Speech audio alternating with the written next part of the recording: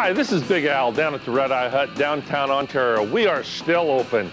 We're here today to feature a few of our pipes, uh, Meerschaum, Briar, we got Zippo lighters, we got proto pipes, we've got cigars, uh, we got brewing supplies for your beer and wine. We've got uh, all your Harley paraphernalia, bumpers, hats, stickers, uh, incense. So stop down at the Red Eye Hut at 247 South Oregon Street in downtown Ontario.